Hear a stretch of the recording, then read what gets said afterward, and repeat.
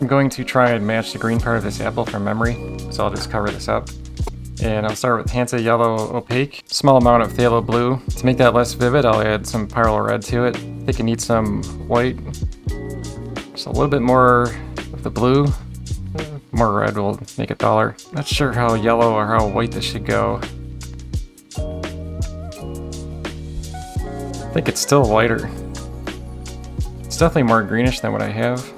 It's hard to tell how much red should be in there. That's probably too much right there. Maybe just a little bit of yellow. Well, let's take a look. Needs more green or more phthalo blue.